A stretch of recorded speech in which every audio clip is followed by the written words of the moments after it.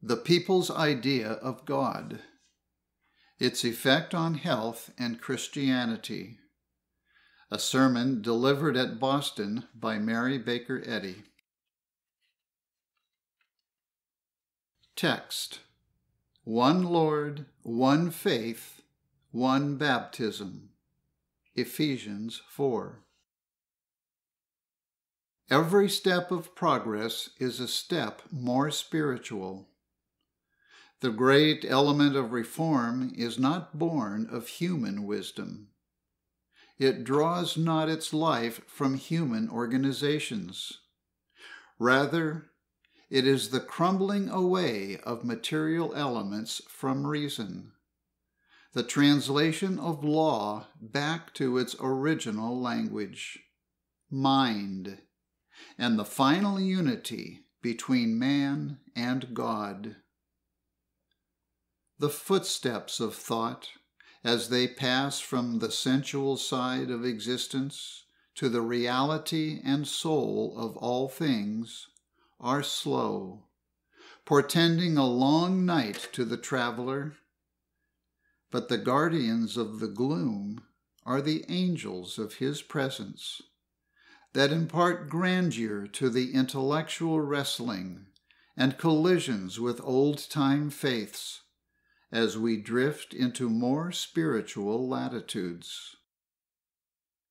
The beatings of our heart can be heard, but the ceaseless throbbings and throes of thought are unheard as it changes from material to spiritual standpoints.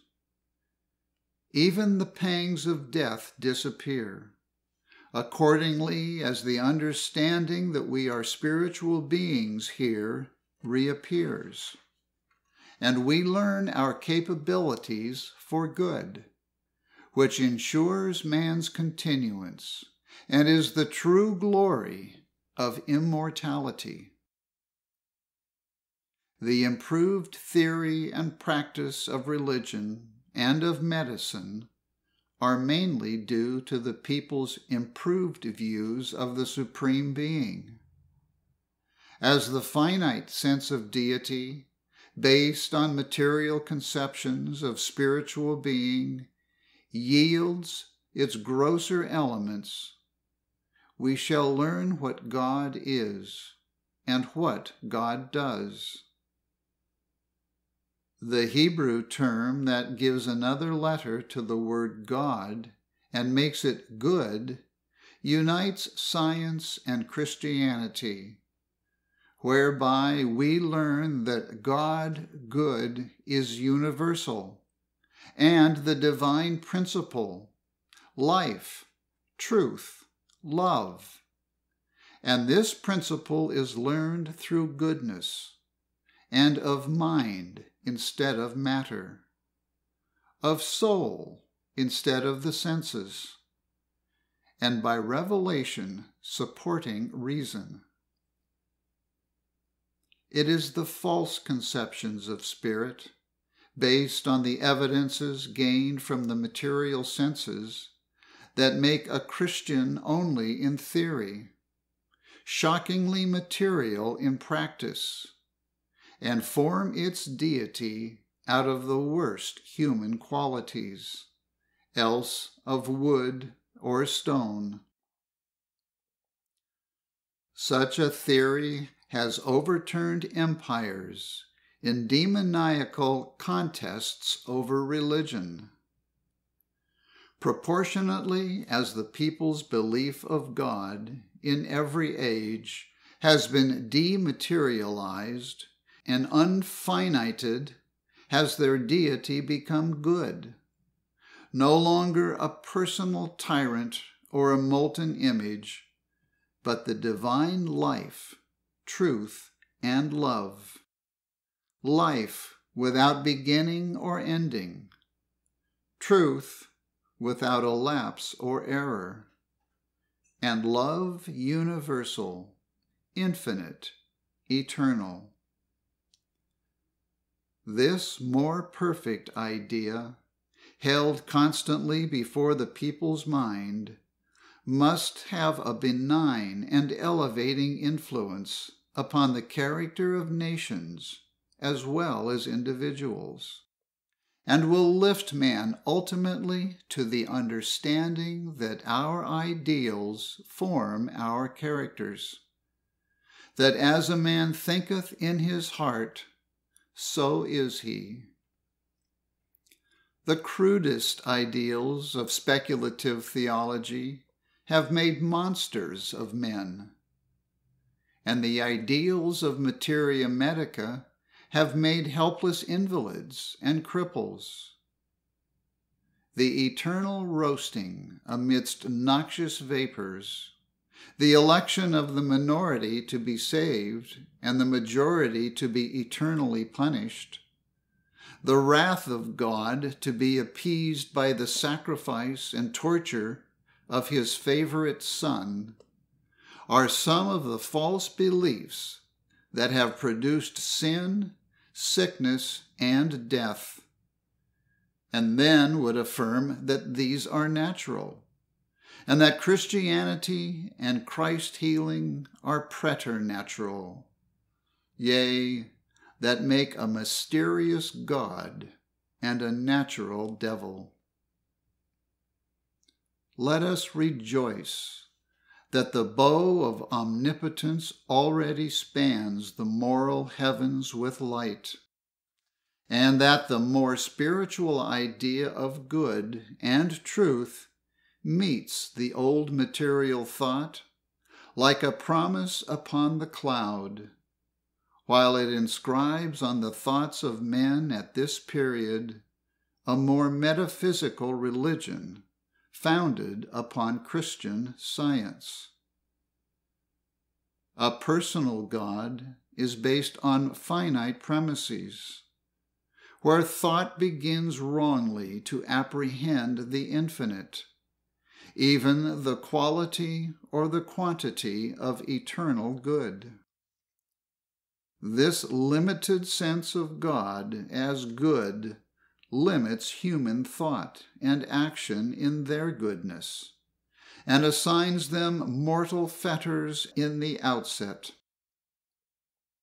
It has implanted in our religions certain unspiritual shifts, such as dependence on personal pardon for salvation rather than obedience to our Father's demands, whereby we grow out of sin in the way that our Lord has appointed, namely, by working out our own salvation. It has given to all systems of materia medica nothing but materialism, more faith in hygiene and drugs than in God. Idolatry sprang from the belief that God is a form, more than an infinite and divine mind. Sin, sickness, and death originated in the belief that spirit materialized into a body. Infinity became finity, or man and the eternal entered the temporal. Mythology, or the myth of ologies, said that life, which is infinite and eternal, could enter finite man through his nostrils, and matter become intelligent of good and evil, because a serpent said it. When first good, God, was named a person, and evil another person, the error that a personal God and a personal devil entered into partnership and would form a third person called material man obtained expression. But these unspiritual and mysterious ideas of God and man are far from correct. The glorious Godhead is life, truth, and love. And these three terms for one divine principle are the three in one that can be understood, and that find no reflection in sinning, sick, and dying mortals.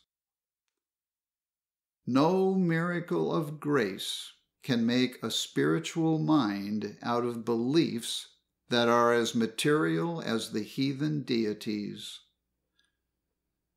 The pagan priests appointed Apollo and Aesculapius, the gods of medicine, and they inquired of these heathen deities what drugs to prescribe. Systems of religion and of medicine, grown out of such false ideals of the Supreme Being, cannot heal the sick and cast out devils, error.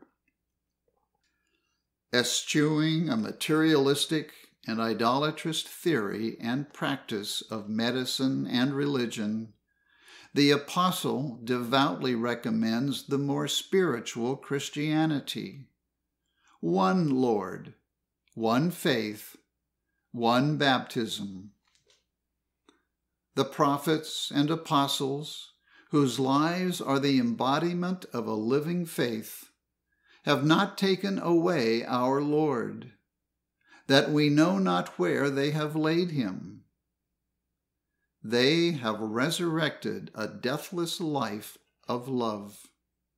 And into the cold materialism of dogma and doctrine, we look in vain for their more spiritual ideal, the risen Christ, whose materia medica and theology were one. The ideals of primitive Christianity are nigh, even at our door. Truth is not lost in the mists of remoteness or the barbarisms of spiritless codes. The right ideal is not buried, but has risen higher to our mortal sense. And having overcome death and the grave, wrapped in a pure winding sheet, it sitteth beside the sepulchre in angel form, saying unto us, Life is God and our ideal of God has risen above the sod to declare his omnipotence. This white robed thought points away from matter and doctrine or dogma to the diviner sense of life and love, yea, to the principle that is God and to the demonstration thereof in healing the sick. Let us then heed this heavenly visitant, and not entertain the angel unawares. The ego is not self existent matter animated by mind, but in itself is mind Therefore, a truth filled mind makes a pure Christianity and a healthy mind and body. Oliver Wendell Holmes said in a lecture before the Harvard Medical School I firmly believe that if the whole materia medica could be sunk to the bottom of the sea, it would be all the better for mankind and all the worse for the fishes. Dr. Benjamin Waterhouse writes, I am sick of learned quackery. Dr. Abercrombie, Fellow of the Royal College of Physicians in Edinburgh, writes, Medicine is the science of guessing. Dr. James Johnson, Surgeon Extraordinary to the King says, I declare my conscientious belief, founded on long observation and reflection, that if there was not a single physician, surgeon, apothecary, man midwife, chemist, druggist, or drug on the face of the earth, there would be less sickness and less mortality than now obtains. Voltaire says, The art of medicine consists in amusing the patient while nature cures the disease. Believing that man is the victim of his Maker, we naturally fear God more than we love him. Whereas, perfect love casteth out fear. But when we learn God aright, we love him, because he is found altogether lovely. Thus it is that a more spiritual and true ideal of deity improves the race physically and spiritually. God is no longer a mystery to the Christian scientist, but a divine principle, understood in part, because the grand realities of life and truth are found destroying sin, sickness, and death. And it should no longer be deemed treason to understand God. When the scriptures enjoin us to acquaint now thyself with him, God, and be at peace, we should understand something of that great good for which we are to leave all else.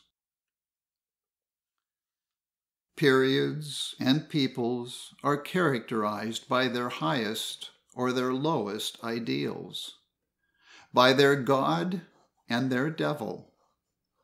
We are all sculptors, working out our own ideals and leaving the impress of mind on the body, as well as on history and marble, chiseling to higher excellence, or leaving to rot and ruin the mind's ideals.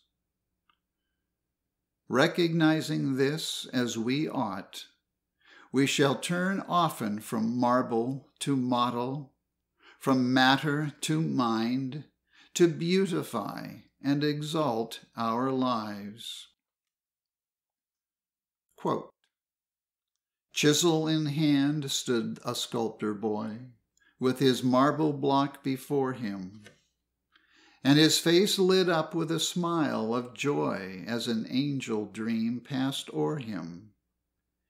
He carved the dream on that shapeless stone with many a sharp incision.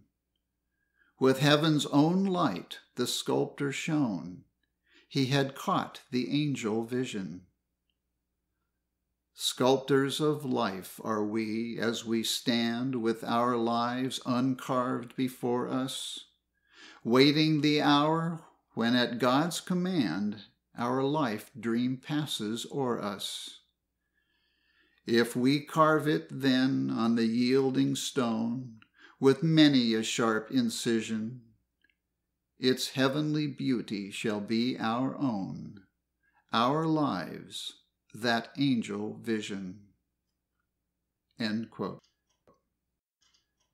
To remove those objects of sense called sickness and disease, we must appeal to mind to improve its subjects and objects of thought, and give to the body those better delineations.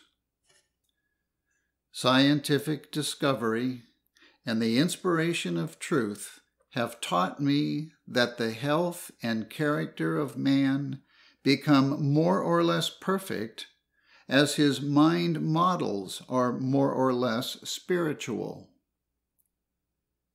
Because God is spirit, our thoughts must spiritualize to approach him, and our methods grow more spiritual to accord with our thoughts. Religion and medicine must be dematerialized to present the right idea of truth. Then will this idea cast out error and heal the sick.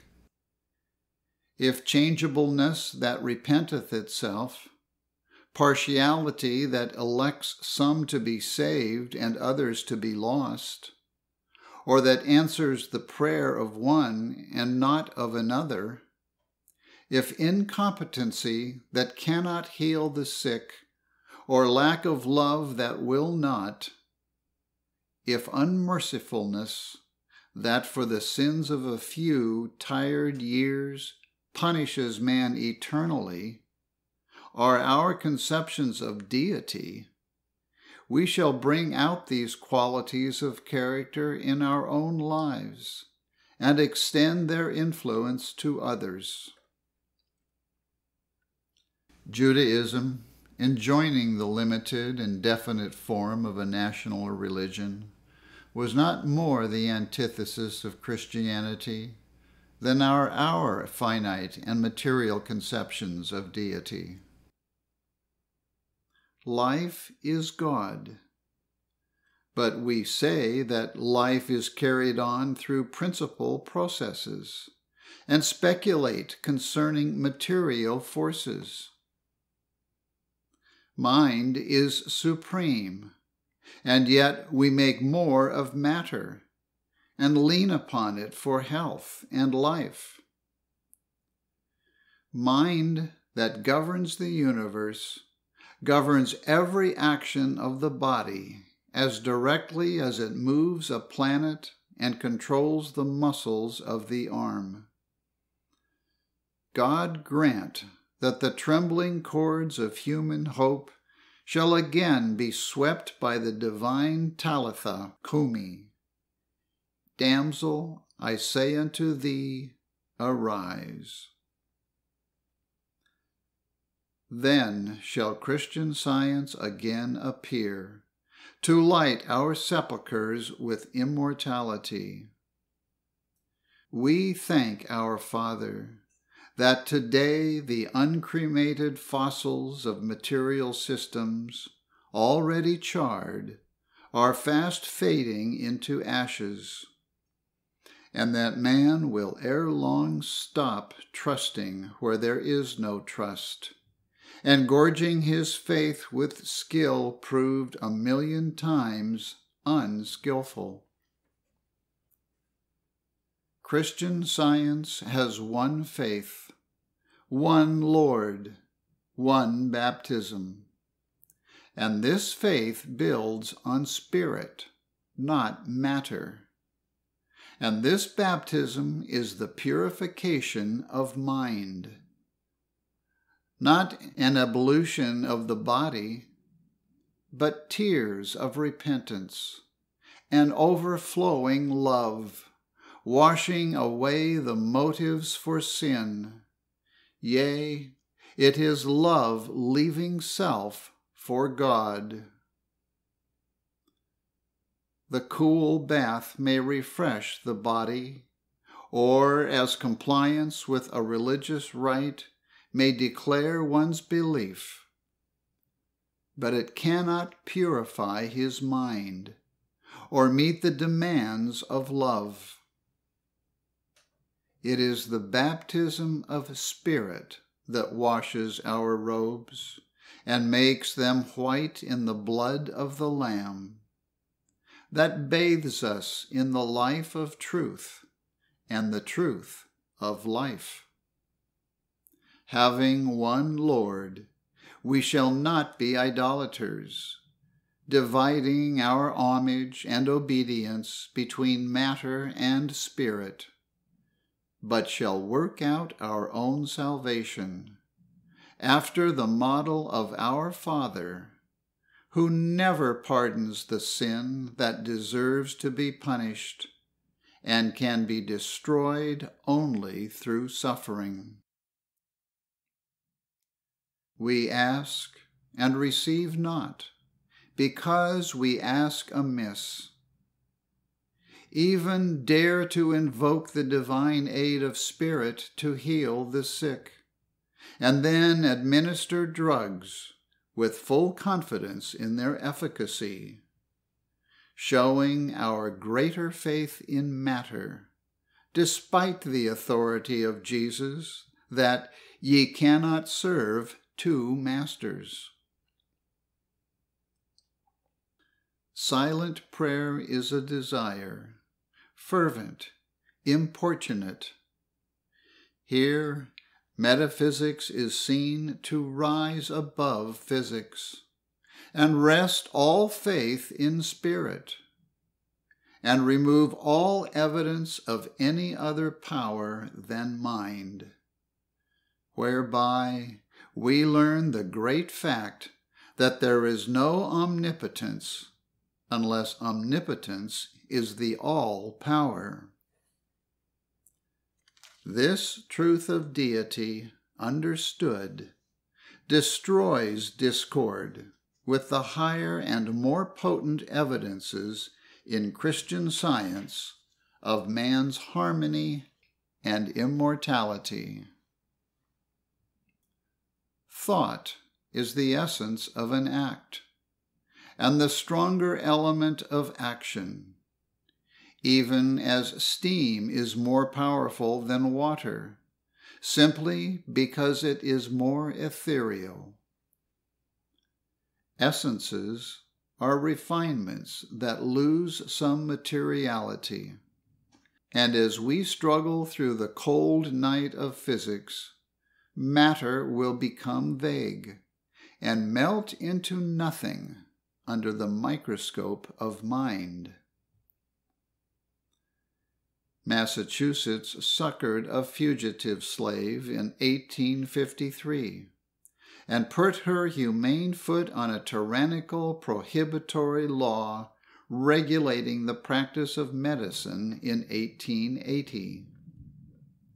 It were well if the sister states had followed her example and sustained as nobly our constitutional Bill of Rights.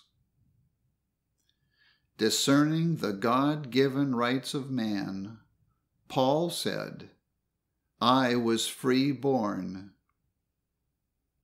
Justice and truth make man free. Injustice and error enslave him. Mental science alone grasps the standard of liberty and battles for man's whole rights, divine as well as human. It assures us of a verity that mortal beliefs and not a law of nature have made men sinning and sick, that they alone have fettered free limbs and marred in mind the model of man. We possess our own body and make it harmonious or discordant according to the images that thought reflects upon it. The emancipation of our bodies from sickness will follow the mind's freedom from sin. And as St. Paul admonishes, we should be waiting for the adoption, to wit, the redemption of our body. The rights of man were vindicated but in a single instance when African slavery was abolished on this continent. Yet that hour was a prophecy of the full liberty of the sons of God as found in Christian science. The defenders of the rights of the colored man were scarcely done with their battles before a new abolitionist struck the keynote of higher claims, in which it was found that the feeblest mind, enlightened and spiritualized, can free its body from disease as well as sin. And this victory is achieved not with bayonet and blood, not by inhuman warfare, but in divine peace.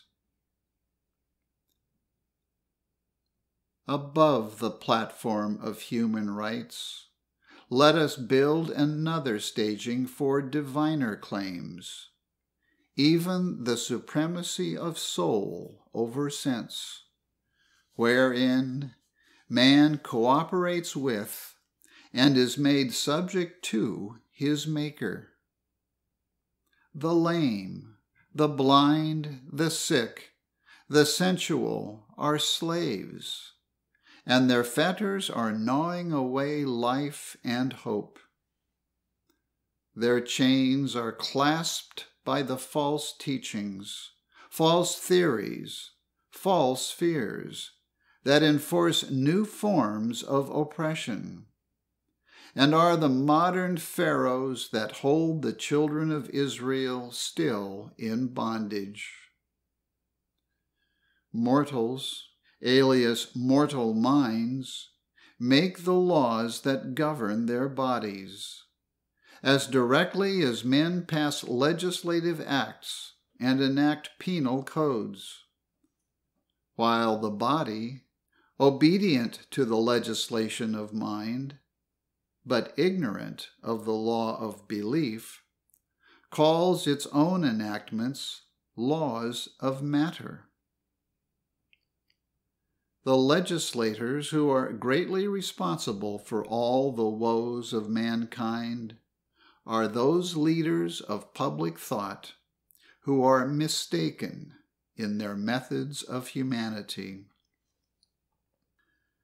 The learned quacks of this period bind heavy burdens that they themselves will not touch with one of their fingers. Scientific guessing conspires unwittingly against the liberty and lives of men. Should we but hearken to the higher law of God, we should think for one moment of these divine statutes of God. Let them have dominion over all the earth. And if they drink any deadly thing, it shall not hurt them they shall lay hands on the sick, and they shall recover. The only law of sickness or death is a law of mortal belief, an infringement on the merciful and just government of God. When this great fact is understood, the spurious imaginary laws of matter when matter is not a lawgiver, will be disputed and trampled under the feet of truth. Deal then with this fabulous law as with an inhuman state law. Repeal it in mind, and acknowledge only God in all thy ways, who forgiveth all thine iniquities who healeth all thy diseases. Few there be who know what a power mind is to heal when imbued with the spiritual truth that lifts man above the demands of matter. As our ideas of deity advance to truer conceptions, we shall take in the remaining two thirds of God's plan of redemption, namely, man's salvation from sickness and death. Our blessed Master demonstrated this great truth of healing the sick and raising the dead as God's whole plan, and proved the application of its principle to human wants.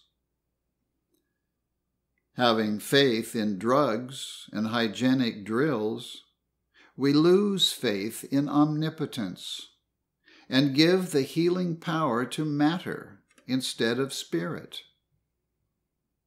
As if deity would not if he could, or could not if he would, give health to man when our Father bestows heaven not more willingly than health.